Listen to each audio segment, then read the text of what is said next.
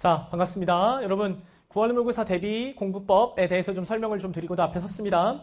일단 9월 모의고사 이제 얼마 안 남아서 여러분들이 좀 조금씩 긴장할 텐데 어, 일단 괜찮습니다. 6월 평가원하고 큰 기조는 바뀌지 않을 것이기 때문에 걱정하지 마시고요. 우리가 좀 의미 있게 봐야 될 것은 뭐냐면 6월 평가원이 작년 수능보다는 쉬웠다는 점 평가를 하고 있어요. 사람들이. 그러면 어, 6월 평가원이 작년 수능보다 쉬웠지만 등급 컷 자체가 크게 변하지 않았다는 거에 좀 초점을 두셔야 될 것 같습니다. 그러면 중요한 건 뭐냐면 학생들이 대부분 국어를 좀 어려워하고 있다는 얘기고요. 대다수의 학생들이 시간 내에 국어를 못 푸는 것 같습니다. 알겠죠? 그래서 등급 컷이 지금 한 지문이 날아가도 1등급 컷이 맞을 수 있는 정도의 수준이 돼버렸기 때문에 근데 유의미한 건 작년 수능보다는 쉬웠거든요. 그러니까 왜 쉬웠냐면 작년 수능은 수필이 너무 어려웠고 올해 6월 평가는 수필이 너무 쉬웠고요. 알겠죠? 그 다음에 소설도 작년 수능보다는 쉬웠고요. 비문학 지문이 A어가 있었던 전건긍정 규칙이 좀 어렵기는 했지만 어쨌든 작년 수능에 나왔었던 도교를 유학자 입장에서 보는 것보다는 정보량이 많지는 않았기 때문에 사실은 평가원이 좀 당황하고 있을 가능성이 좀 높습니다. 알겠죠? 그래서 9월 평가원은 어떤 식의 난이도로 낼지는 확인을 하겠지만 나중에 어쨌든 여러분 작년 수능보다는 6월 평가원이 그렇게 어렵지는 않은 시험이었었기 때문에 시험을 좀 많이 못 봤다고 하면 결국에는 기본기가 많이 부족했을 가능성이 높은 시험이거든요. 그러니까 국어는 원래 3월달, 뭐 5월달 모의고사를 보시긴 하겠지만 6월 평가원을 보기 전까지는 올바른 공부법 자체를 잘 정립하기가 힘들어요. 왜냐하면 고1, 고2 때는 그냥 단순히 읽으면서 문제를 푸는 것들이 해결이 됐겠지만 6월 평가원은 사실은 평가원에서 문제를 출제하기 때문에 여러분들이 그냥 단순히 풀던 방식으로 문제가 안 풀릴 가능성이 높습니다. 그래서 정확하게 분석하고 정확하게 일관된 풀이법을 계속 공부하셔야 되거든요. 그래서 저는 9월 평가원을 대비하기 위해서 일단 가장 중요한 건 뭐냐면 작년 수능을 좀 분석을 좀 하셨으면 좋겠습니다. 알겠죠? 작년 수능이 좀 많이 어려웠기 때문에 요 정도의 난이도가 좀 많이 어려웠으니까 제 생각은 요 정도 난이도 대비 6월 평가원이 그렇게 어렵지 않았다고 말씀을 드리는 건데 6월 평가원 자체도 그렇게 쉬운 시험은 아니었어요. 왜냐하면 고전 소설 자체에서 어려움이 좀 있었고 이대봉전을 읽어가는 데서 학생들이 좀 많은 어려움을 겪었을 것 같고요. 전건긍정 규칙 자체도 그게 그냥 귤은 싸다. 아, 귤은 맛있다. 맛있으면 비싸다. 그럼 귤은 비싸다. 그 상황을 이해하는 것 자체가 되게 힘들었을 가능성이 높습니다. 그래서 제 생각은 강의를 어, 공부를 하실 때 수능 분석하는 것과 6월 평가를 좀 복귀하시는 게 좀 중요할 것 같습니다. 왜냐하면 결국에는 두 개의 출제 오도가 겹치는 경우가 되게 많기 때문에 지금 보면 24년 수능과 6월 평가원에서 나왔었던 출제 오도가 많이 비슷합니다. 그래서 이 두 강좌를 좀 분석을 좀 하시는 게 좋을 것 같습니다. 두 강의를 공부를 해서 요거를 좀 공부를 좀 하시고요. 분석을 좀 공부하시고 제가 이거는 혼자 분석하시는 게 좀 힘들 것 같아서 24년 어, 우리 함께 분석에서 24년 수능 분석을 좀 해놨고 우리 함께 분석에서 6월 평가원과 같은 출제 원리를 가진 것들에 대한 지문을 한 지문당 3, 4지문씩 넣어놔서 분석을 좀 할 수 있게 타이트하게 해놨거든요. 그래서 요거는 제가 PDF로 바로바로 바로 대응을 시켜드리려고 PDF로 올려놨으니까 PDF 다운 받으셔서 6월 평가원을 좀 정확하게 분석하는 게 좀 안 돼 있다고 치시면 한다면 8월 달에는 6월 평가원과 작년 수능을 좀 분석하시는 걸 좀 먼저 주로 좀 해주셨으면 좋겠습니다. 물론 실전 모의고사는 일주일에 한 번씩 푸셔도 됩니다. 지금 이제 저도 이제 어, 이감을 비롯해서 퀄, 퀄 S 버전 이렇게 다 촬영을 할 건데요. 중요한 건 뭐냐면 어, 사설은 요거를 분석한 상황에서 사설을 볼 수 있는 눈을 키우셔야 됩니다. 단순히 사설 풀면서 점수를 확인하면서 내가 어느 정도의 수준에 있는지를 분석하는 건 의미가 없습니다. 사설은 시간을 운영하는 연습 자체 혹은 내가 어떤 영역을 공부하는 데 있어서 조금 더 유리한지를 좀 찾는 시험이기 때문에 점수에 크게 마음 쓰지 마시고요. 핵심은 내가 요거를 분석하는 눈으로 사설이 지닌 문제들을 보는 눈이 필요합니다. 아시겠죠? 그거를 하셔야만 어, 사설을 좀 유의미하게 보실 수 있습니다. 낯선 지문과 처음 보는 지문들 혹은 여러 가지를 대응할 수 있는 힘 자체를 기르는 건 되게 좋, 좋기에 사설 컨텐츠 자체가 나쁘진 않지만 제가 걱정스러운 건 분석이 안 된 상태에서 사설을 풀면, 풀면 그냥 읽고 푸는 방향으로 갈 가능성이 높습니다. 알겠죠? 제가 그게 좀 걱정이 돼서요. 요거를 좀 먼저 하셨으면 좋겠습니다. 9월 볼 때까지. 알겠죠? 자, 그 다음. 항상 언제나 우리가 EBS 작품 정리를 고민을 하셔야 될 텐데, 어, 이렇게 봅시다. 내가 6월달 모의고사나 작년 수능이나 어찌됐든 1, 2등급이 계속 나오고 있고 점수가 어느 정도 안정이 됐다고 치면 지금은 EBS 문학작품 정리 자체를 하시는 게 나쁜 건 아닙니다. 단 걱정하셔야 될 건 뭐냐면 이대봉전이 6월 평가에 나왔는데 이대봉전은 엄청 중요한 작품인데 결국은 여러분들의 발목을 잡았던 건 이대봉전이에요. 그러면 포인트는 뭐냐면 이대봉전의 줄거리를 몰라서 틀리는 게 아닐 거거든요. 아시겠죠? 이대봉의 줄거리, 이대봉전의 줄거리는 알지만 결국은 문제 풀 때 내가 줄거리를 안다는 것만으로는 문제가 풀리는데 한계가 있습니다. 알겠죠? 그래서 결국은 내가 뽑아놓은 기준으로 지문을 읽는 연습이 필요해요. 그 일관됨이 필요한데 학생들은 그냥 줄거리만 듣거나 줄거리만 읽으면서 문제를 풀거든요. 여러분이 알고 있는 줄거리는 시험에 안 낼 가능성이 높습니다. 알겠죠? 그러니까 핵심은 뭐냐면 내가 작품 정리를 하더라도 그냥 작품 정리하지 마시고요.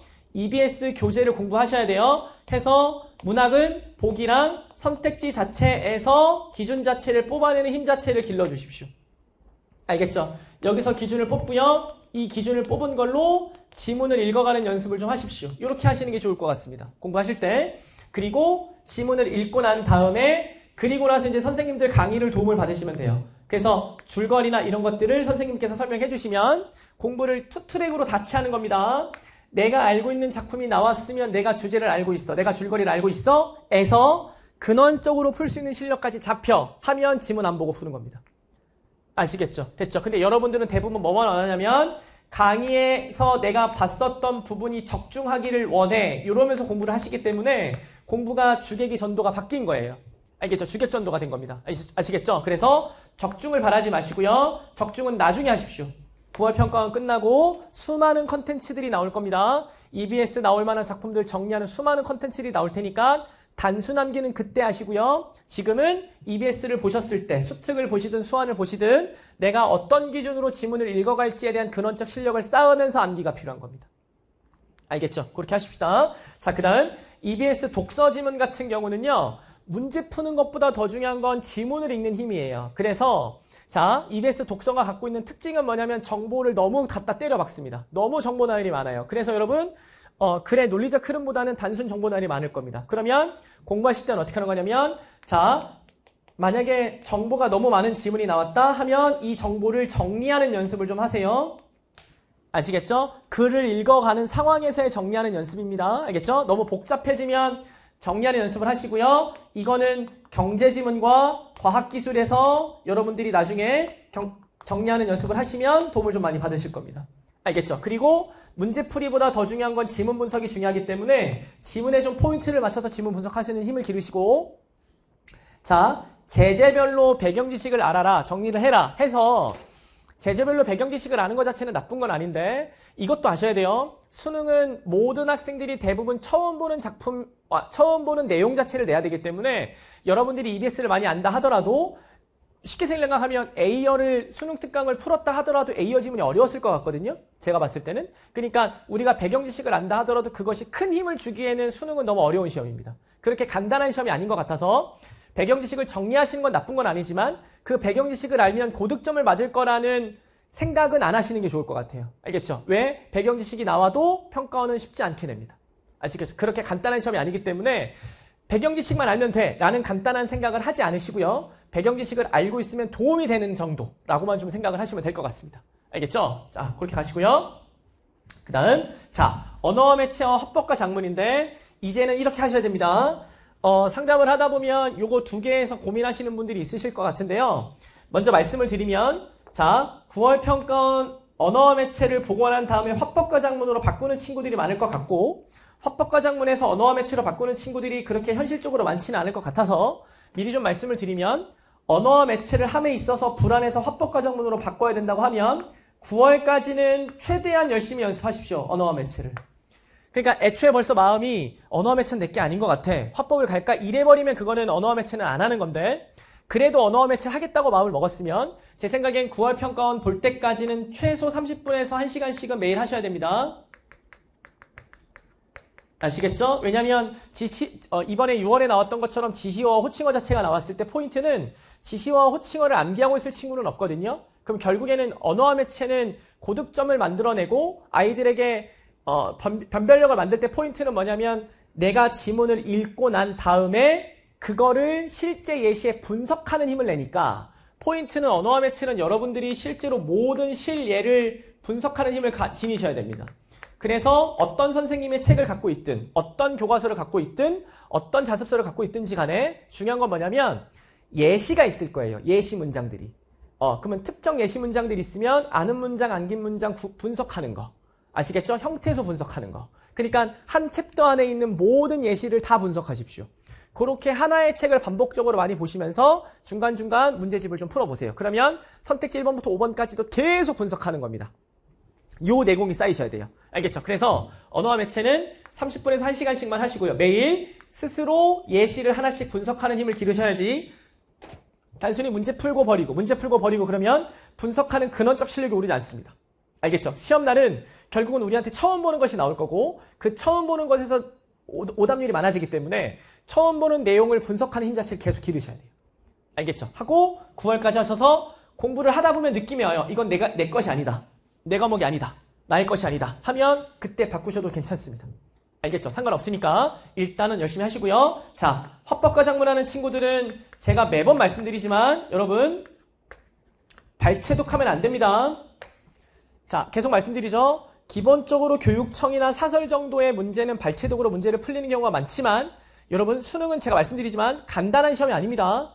여러분들의 인생을 결정짓고 많은 학생들의 인생을 결정짓고 많은 학생들에게 변별력을 줘야 되는 시험이기 때문에 발췌독 정도로 문제를 풀 정도로 문제를 내지 않습니다. 알겠죠? 그러면 포인트는 뭐냐면 정확하게 읽어가는 연습을 좀 하셔야 되는데 이 정확하게 읽어가는 연습 자체가 왜 쉽게 되냐면 내용이 어렵지 않죠. 내용이 어렵지 않죠? 그러면 내용이 어렵지 않기 때문에 쉽다고 보면 중요한 건 뭐냐면 빠르게 읽는 연습은 결국은 글의 논리성입니다. 알겠죠? 어, 비문학에서 배웠었던 논리성이 그대로 담보되기 때문에 대화를 친구들하고 할 때 그냥 일상적 대화를 하는 게 아니라 비문학 글이 갖고 있는 논리성을 그대로 갖다 써요. 그걸 대화체로 바꾼 겁니다. 아시겠죠? 그래서 무조건 화법과 정문을 공부하실 때 지문을 읽을 때 독서처럼 읽는 연습을 하십시오. 읽다 보면 독서랑 똑같은 느낌이 들 겁니다. 알겠죠? 그래서 제가 화법과 정문 수업할 때는 독서 이론을 계속 설명하면서 화법과 정문 설명합니다. 아시겠죠? 화법과 정문은 독서처럼 하십시오. 아시겠죠? 오케이. 자, 언어와 매체는 끝까지 좀 하시고요. 됐죠? 어, 이렇게 접근을 하셔서 공부하시면 될 것 같습니다. 자, 한 달 정도밖에 안 남은 9월 시험이기 때문에 제가 여러분들께 말씀드리고 싶은 거는 길고 멀리 보셔야 됩니다. 알겠죠? 캐스트에도 제가 말씀드렸습니다만 길고 멀리 보시고요. 당장 9월 평가원만 시험 잘 본다고 여러분 행복하지 않습니다. 알겠죠? 그래서 9월 평가원을 볼 때까지 비어있는 부분 자체를 먼저 보시는 것도 중요하긴 하지만 결국에는 근원적인 실력을 높이기 위해서는 기본기 자체를 많이 다지는 게 제일 중요하기에 3등급 이하는 항상 기출을 먼저 보시고요. 알겠죠? 사설은 기출을 보는 눈으로 접근하는 연습을 하시면 될 것 같습니다. 알겠죠? 자, 여기까지 하겠습니다.